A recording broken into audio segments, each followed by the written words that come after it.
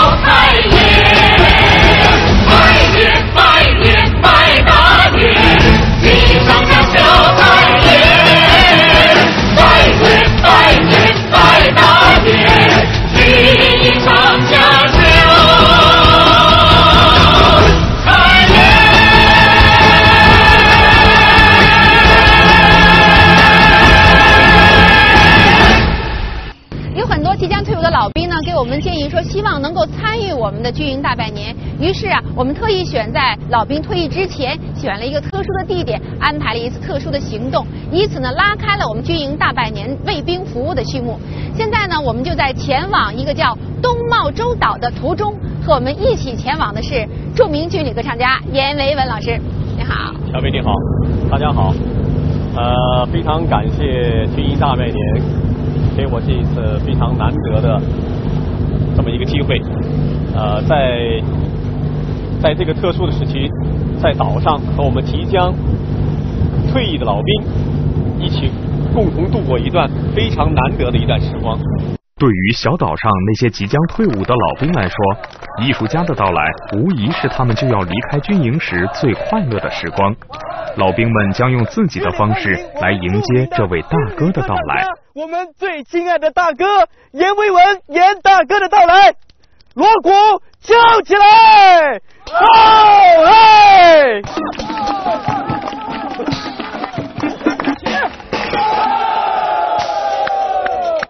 严大哥，我们的激情，我们现在的心情，您都看到了，您是不是给我们大家唱首歌啊？大家说好不好啊？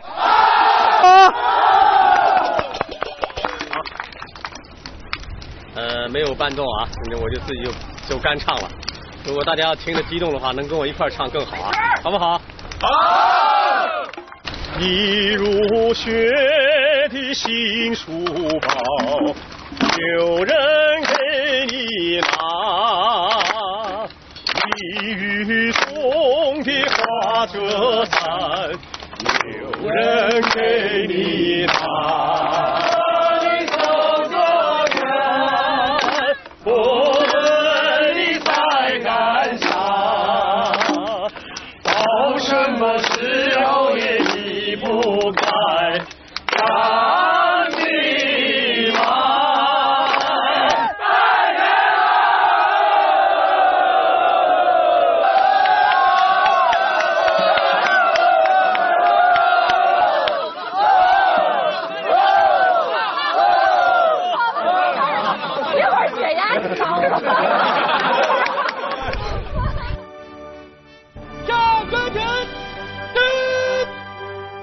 对于艺术家阎维文来说，以一名老兵的身份来宣读复员命令，这也是从军三十多年来的第一次。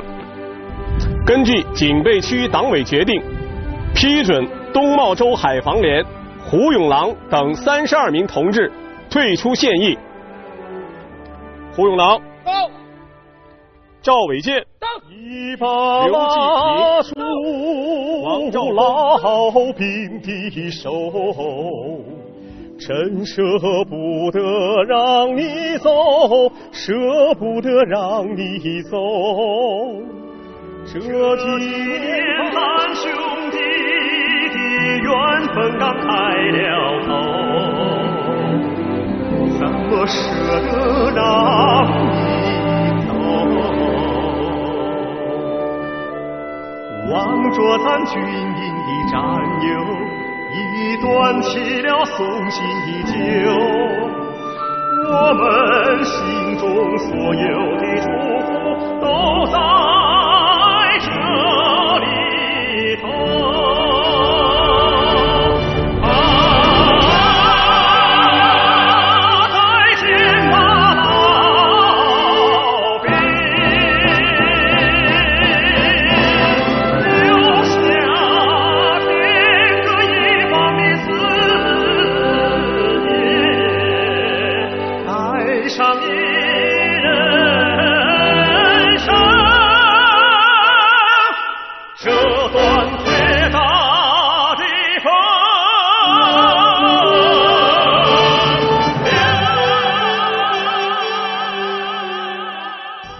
亲爱的战友们，今天呢，我是受军营大拜年导演组的任命，来到了我们英雄董存瑞的部队。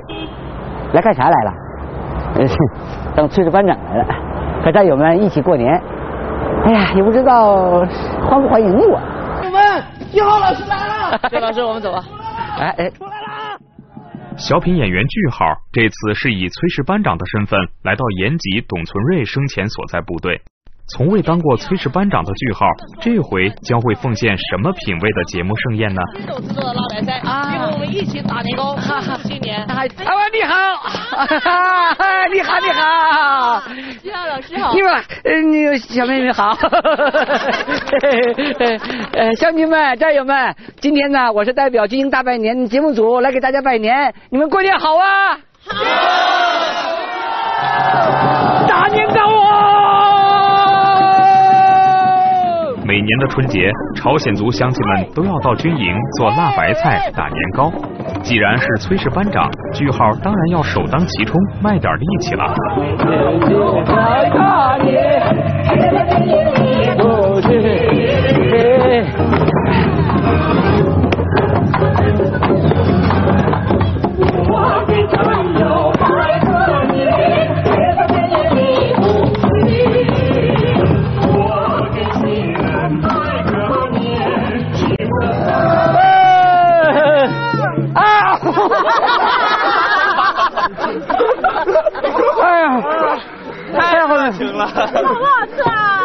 好吃，香香不香？香，挑什么的？来吃那个聚丰的。好，谢谢，健康长寿。谢谢谢谢，战友们，你们都尝尝吧，太好吃了，都尝一尝吧。这是我这么多年过得最有意义一个春节。嗯，你说，有一个愿望，你能帮我实现吗？你说，呃，你能和我唱一首我们家乡的歌谣吗？哎呦，这个太难了并不难，但是你不能干唱，要和我一起跳舞的。啊，还跳舞？那个看我跳舞行，大家别哭啊！啊，来来来啊，还哎啊啊，这个这这要这要学，哎呦呵，了好了嗯，好啊！哎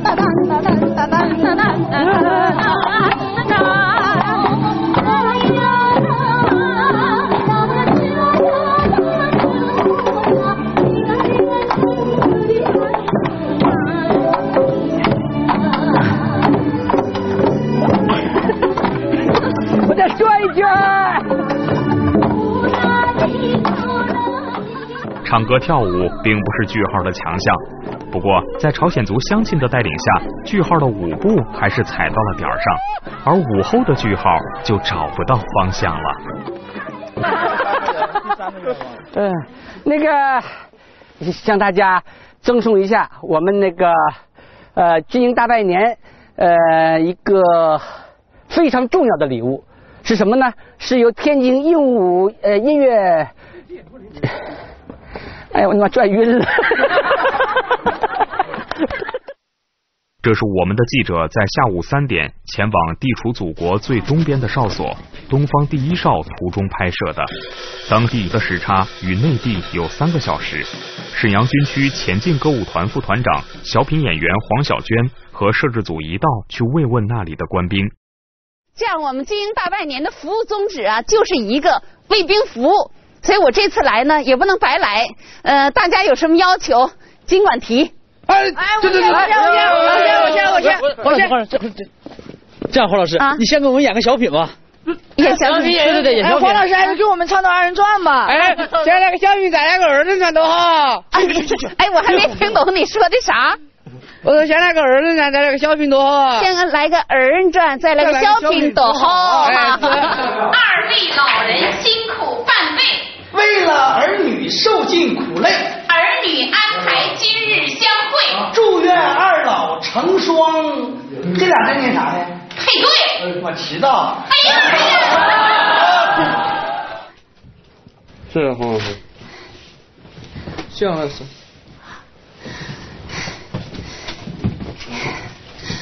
慢慢别烫着，你看，现在我们的摄像机正对着你们呢。你们此时此刻最想说的一句话是什么？黄老师，每当在家过年做年夜饭，都是我妈妈给我包饺子。今天是您给我包的饺子，此时我最想说的一句话就是叫一你一声妈妈，可以吗？可以。妈妈，妈妈。妈妈，妈妈，在祖国边防最东端的角落。十几年前的沈阳军区歌舞团创作了歌颂东方第一哨哨所官兵的歌曲《我把太阳迎进祖国》，就是这首歌在全国传唱，让许多人知道了东方第一哨的官兵。是他们最早把太阳迎进祖国的。悄悄地忆我，那是我第一个把太阳迎进祖国。我把太阳迎进祖国。观众朋友们，大家好，我是孙涛。新春佳节，我带您走进部队，走进一支非常有光荣传统的部队。这是我的老部队，二十二年前我就在这儿当兵，一晃二十二年过去了。非常高兴的是呢，军营大半年导演组安排我能够有机会回到我的老部队，回到我曾经工作生活过的地方，我特别的高兴。哎，大家看到，咱们这回来不是来演节目来的，咱们这回是重操旧业。二十二年前，咱们就在这儿当炊事班长；二十二年后，咱们仍然要当炊事班长，虽然没有升。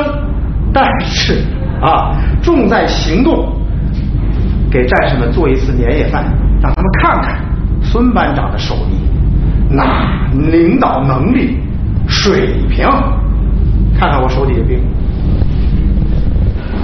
同志们准备怎么样了？准备好了。瞧瞧我这兵素质多高！集合！同志们好！好。为人民服务。炊事班长素质就是不一样，伙食好，底气足啊！同志们，我是谁呀？孙涛老师，我讲。老师，老师好。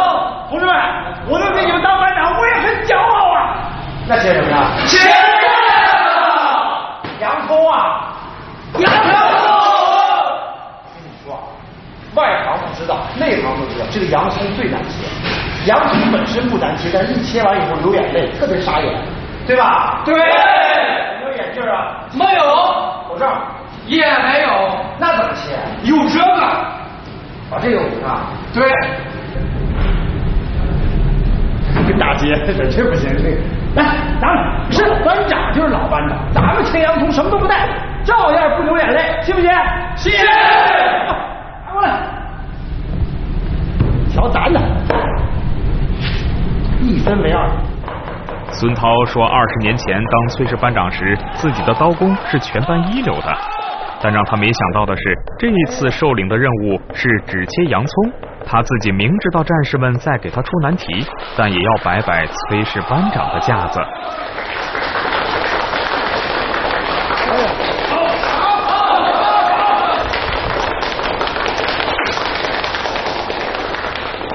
同志们，老班长这个流泪啊，不是因为切洋葱切的，知道吧？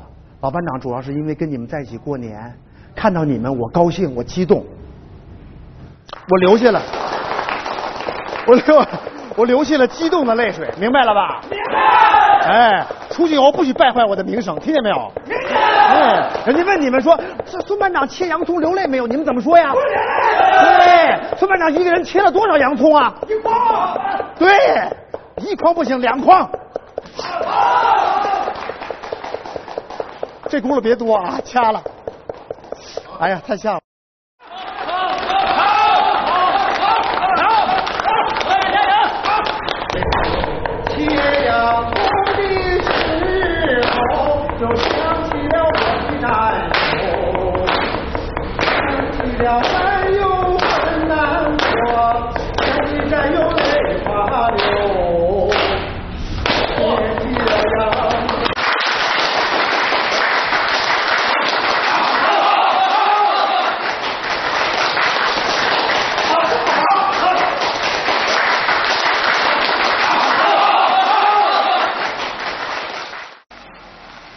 总政歌舞团演员蔡国庆这次受领的任务是来到一处特殊的军营，面对着的也是特殊的战友。这是我们军犬队了，来来，那蔡老师我来吧。哎呀，我来，我来，我来，我来吧，蔡老师，下来，对，这都习惯自己来。来，啊，啊，这雪景真棒。对我前两天下的雪特别大。啊。电视机前的观众朋友，全军的战友们，大家好，我是蔡国庆。在这新春佳节的最美好的季节，我来到了这个空军丹东的军犬训练基地。哎，这可是我第一次来，你们也没机会来吧？所以我今天特别的高兴，来到这军犬训练基地，干什么来呢？是参加咱们这个军营大拜年，为兵服务。让我来到这个军犬训练基地，啊，让我给战友们拜年，说还要给狗狗们拜年呢，还太逗了嘿。更重要的是，他满足了我个心愿。让我第一次要当个训犬员，哎呦，太棒了！当个训犬员，以后看你们谁敢欺负我，我就会说上，这个上，哇，太棒了！走吧，跟我一起到军犬基地看一看。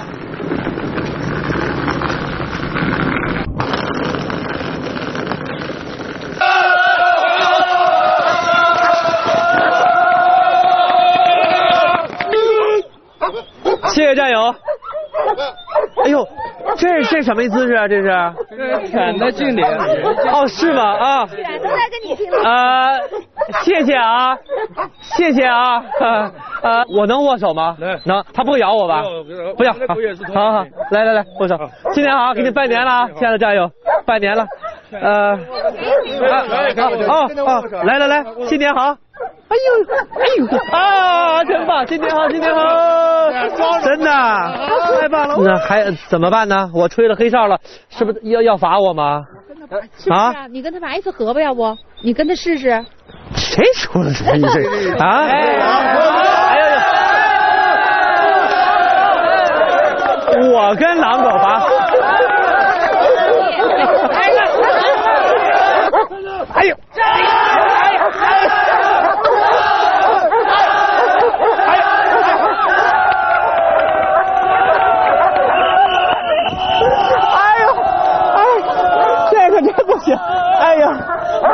你们不行啊！哎呀，哎，这个太丢人了。真是吗？哎呀，想帮你一把，哎，实在多了。哎，我真没想到他们劲儿这么大呀。太大了，这劲儿挺大的。哎，我跟你，我跟你商量商量，这镜头最好别播出去了吧？啊？这个到时候传出去说蔡国庆跟狼狗拔河，那让做狼狗。是啊，不服气。情的头颅最高贵，带得起光荣和伤悲。与军犬拔河的失败，并没有让蔡国庆认输。然而，在后来的比拼中，他同样没有占到上风。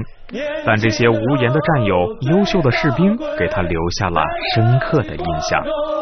伤悲，士兵的桂冠像什么？阳光璀璨向日葵，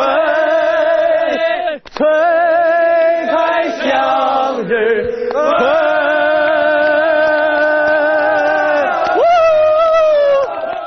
今天呢是个特殊的日子，相信电视机前的您已经看到我了。那我今天呢可以说是全副武装负重，这是为什么呢？今天呢我们跟济南军区某部通信总站呢进行一次野营拉练，在这次拉练队伍中呢有一名特殊的战士，他是谁呢？有请我军著名歌唱家孟歌老师来参加我们的野营拉练。呃，孟歌老师您好，老师，我想问一下，你为什么来参加这次拉练活动呢？嗯，首先，我觉得我作为一名部队的文艺工作者，呃，应该说是需要这样一段经历，尤其在这样一个节日当中，嗯、我希望我能把我的歌声能够站在他们面前带给他们。嗯，我也希望在我今后的这个军旅生活当中，这一天将成为我一生当中永久的一份纪念。一二三四，一二三四，像首歌。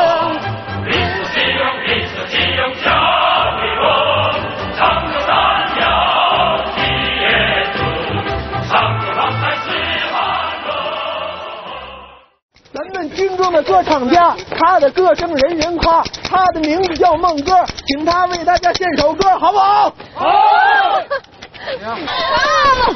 人在那个大帅一芒山，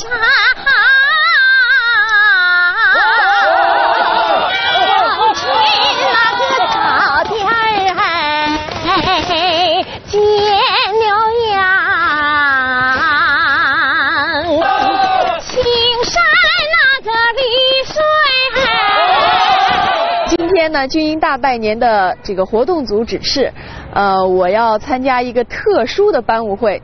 我想也请所有的观众朋友们和战友们一同跟我进入到班务会当中，走吧。哎，战友们啊，报告班长，我是谭晶，战友们好。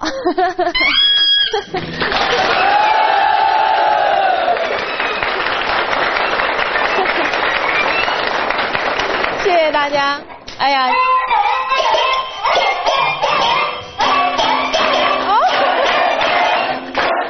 谢谢谢谢大家，谢谢大家。哎，这是一个非常特别的这个欢迎的仪式啊，是我真的之前从来没有这个见过的。哇！哎，班长，这个班务会就这么开始了？哦。全部都不说话的，都是用乐器来回答我，这个很特别呀。你再问他，你说 那咱们今天班务会的主题是什么呢？啊，好像没太听懂，是什么夸家乡？是这个意思吗？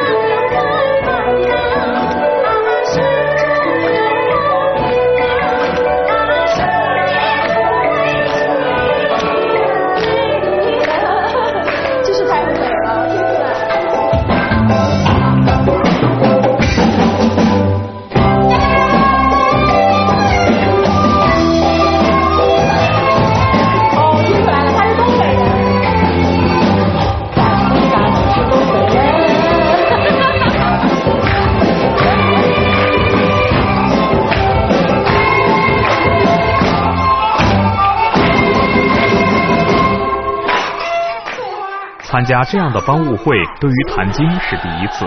好在他对于音符的理解能力强，与不同的乐器对话并不是什么难事儿。其实啊，对于谭晶来说，来到军营就想为官兵唱几首歌。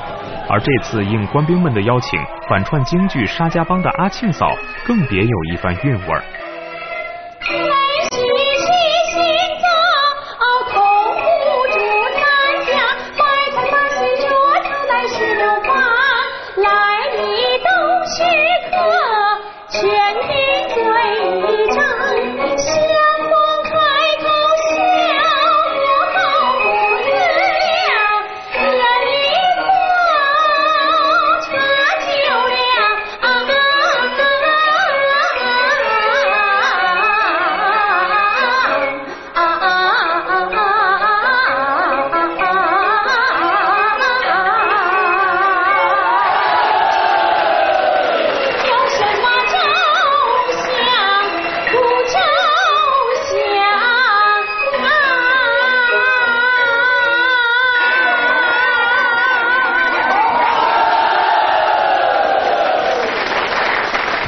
我们来到的是舟山群岛的朱家尖码头，我身后的这个交通艇呢，就是舟山警备区的交通艇。一会儿我们将乘艇前往我们的庙子湖岛。今天呀，我们非常高兴的请到了著名男高音歌唱家李双江老师和我们一起上岛去慰问官兵们。双江老师你好，老师哎，你好，真好啊！这回是三十多年再返这个小岛，您一定感慨良多吧？啊，亲爱的电视观众，还有我们的战友们，今天我们随中央电视台军营大半年剧组到东海堤上去看望战友，去慰问他们，真是太高兴了。几十年前，庙子湖岛还是座荒岛，守岛官兵的生活条件也是非常艰苦的。官兵除了完成好戍边守国的任务外，还努力改变岛上的生活环境。他们把这里当做自己的第二故乡。经过了几十年的建设，今天的岛上生活再也不能与往昔同日而语了。几十年前，一名守岛老兵以自己的亲身感受写下了战士第二故乡的诗歌，并登在连队的黑板报上。后来被作曲家谱了曲，经过歌唱家李双江的传唱，这首歌红遍了祖国的大江南北。唱了这么多年，李双江第一次登上庙子湖岛，要完成自己的心愿。成老头了，对，七十岁，多少？七十，正七十，对，上半年来过了。他复原的时候是二十二十三岁，对，他上到一等节度。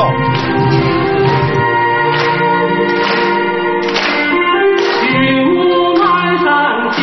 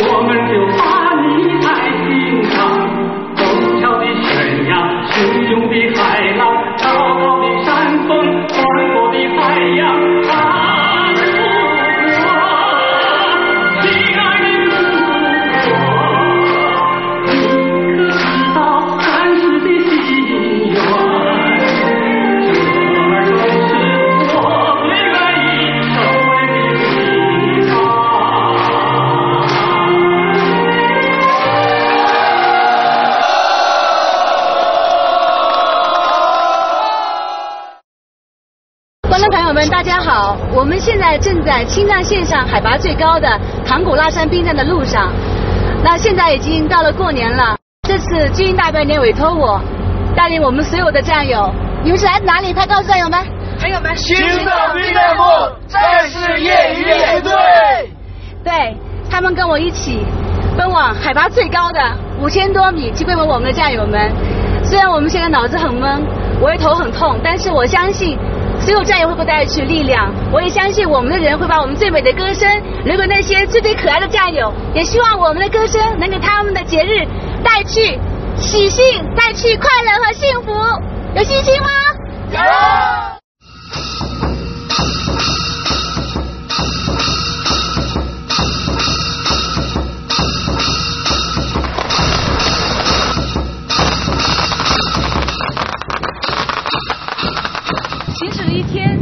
八点钟到现在下午五点钟，终于到达了唐古拉山的兵站。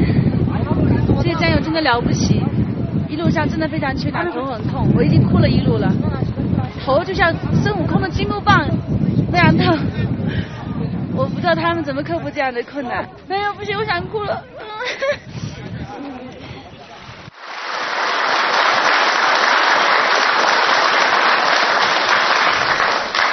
没关系，这是我高兴的眼泪，是我崇敬的眼泪。我想，这次来唐古拉，是我洗刷心灵的几个小时，虽然只有二十四个小时，我会带着这种情感回到北京。我也相信这次的经历会让我更加热爱这个绿军装。上线的时候，钟伟就给我介绍，由于这边交通比较不够发达，因为我们我们来也是坐了将近四个小时过来的，所以很多战友可能都不能呃每年回家去看望家里的父母，也应该是离家很久了，所以我想唱一首思乡的歌。应该是我的保留曲目吧，最好听的歌就送给你们，久别的人送给你，好吗？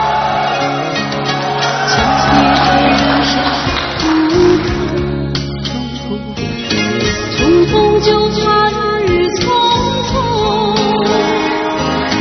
忙不完，依旧，其实不完的梦，浪漫的。你可记得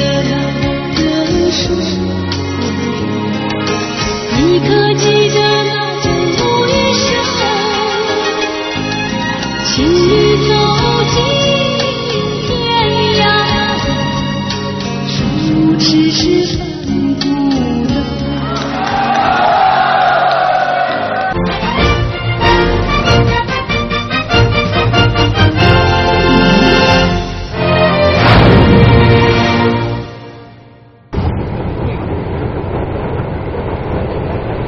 好，观众朋友，现在呢，我们就是在全国唯一的由我们军队自己管理、自己运营、自己维护的军用专线列车上。大家看，火车司机就是我们的战友，你好。你好，哎那么这条铁路专用线呀，可是不一般，令咱们中国人民感到骄傲和自豪的绝大多数卫星以及运载卫星和飞船的那些火箭呀，都是通过这条铁路专用线运往发射场，在那里发射，飞向蓝天的。嗯，是的。那么负责维护这条铁路线的官兵呢，都是呃分散在三十多个点号的战友们。是啊，这三十多个点号分布在二百七十多公里的铁路沿线上，他们的生活条件非常艰苦，常年见不到人烟，而且就身处大漠戈壁的深处。嗯，那么今天我们军运大拜年的慰问小分队呢，就来慰问这些点号的战友们。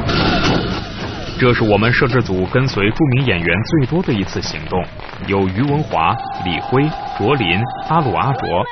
我们之所以这样做，只是要慰问的这条专用线的点号有三十几个。由于火车的停靠站时间有限，演员表演节目的时间只有一分钟。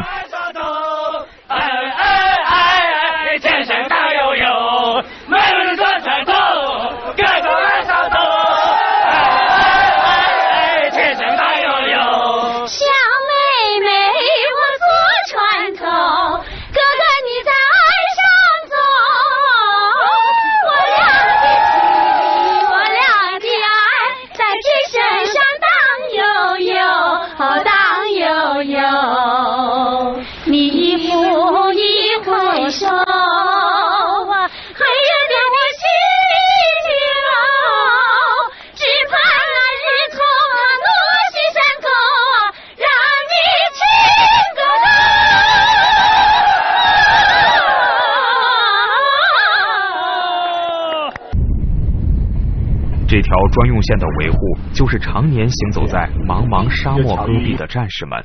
他们每天最少要行走四十公里。为了能让他们看上我们的演出，只要我们见到这些战士，都要停下来，满足他们的要求。爸爸妈妈，你们好！来信一直埋怨我没有回家陪你们过年，但我儿子在这给你们道个歉，向你们说声对不起。其实我也很想念你们。妈妈埋怨我不回家，其实我是一名军人嘛，我也有自己的职责，这是有时间了，我一定回家陪你们过年。在这春节即将来临之际吧，我在这祝二老身体健康，事事顺心。儿子给你们敬礼了。南北中，我们来当兵，五湖四海到一起呀哈，咱们都是亲弟兄，心贴着心呐、情暖着情呐、亲。来，给我们给我们看，来。按照我们原来的设想，每个点号都要去，但是我们的演出时间只有半天，不可能满足每个点号战士的愿望，这也是我们大家共同的遗憾。抬头望月亮，想起了我的家乡，家乡的老屋里住着我的亲娘，她一生为了我受尽风霜，亲娘爱子好比那水流长。当月亮爬上山岗，新娘一定把我想。年老的亲娘啊，你别忧伤。当月亮升上东方，我也把亲娘想。思念的泪珠啊，挂在脸庞，亲娘啊亲。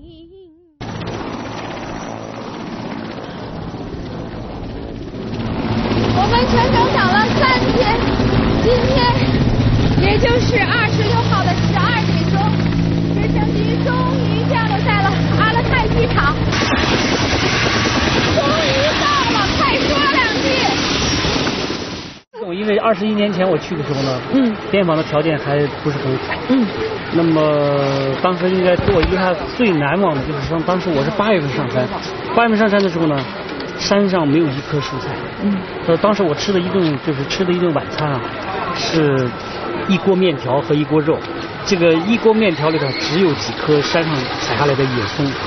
所以，呃，时隔二十一年以后，我再上山，我我相信那一定会有很大的变化。嗯嗯，我们也会给战士带带去很多的惊喜。对他也将把自己的愿望、把自己的心意带给红山嘴边防连的战友们。嗯嗯，好，祝我们顺利成功。顺利。地处祖国西部的红山嘴哨所被称为雪山孤岛，每年有八个月大雪封山，道路中断。这次总政歌舞团演员王宏伟将随我们共同搭乘运输物资的直升机去完成他的心愿。同时，我们也秘密带上了两名哨所军人的未婚妻共同前往。我们之所以这样做，是想给那里的官兵一个惊喜。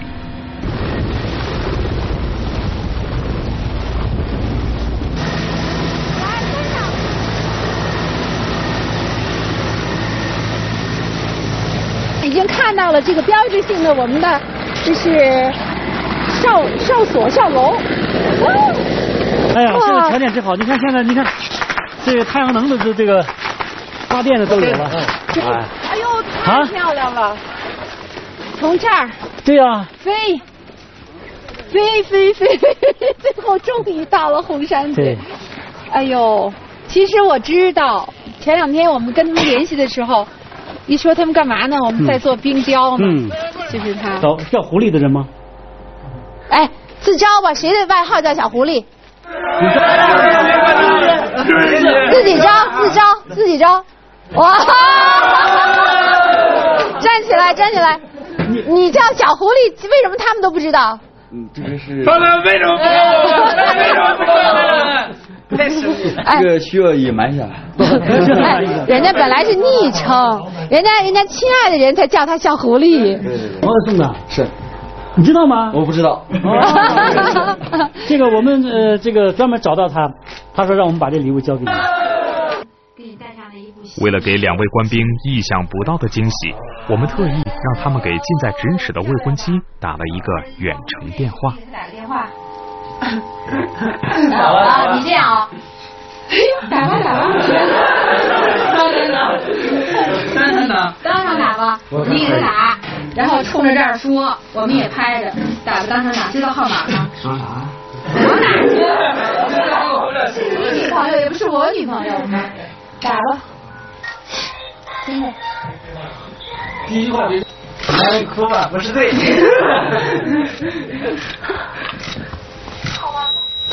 好啊。你在这说想不想他？说一句好听的，大声说。现在镜头对着我了。说，说一下，再说一句我爱你，快点。表白一下，表白一下。表白，表白，快表白，快点。然后给他点勇气。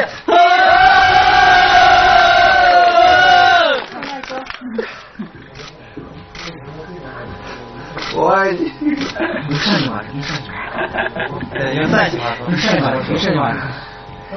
虽然我没结婚，我在这里头，我爱你。回头，回头，闪开。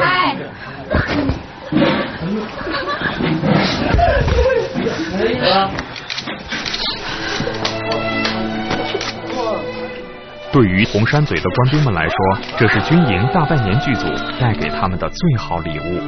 他们难以相信能和自己的心上人相会在这雪海孤岛上。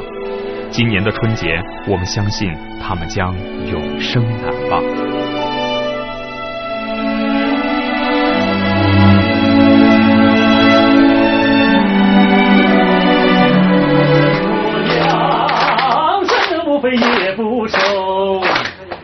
阿拉木汗什么样？生无非也不熟。从王宏伟的歌声中可以看出，他已经了结了深藏已久的心愿。这条神秘的面纱，我们将在春节大拜年节目中揭开，而且还有很多红山嘴哨所感人的故事。陀螺盘起三百六，阿拉木汗住在哪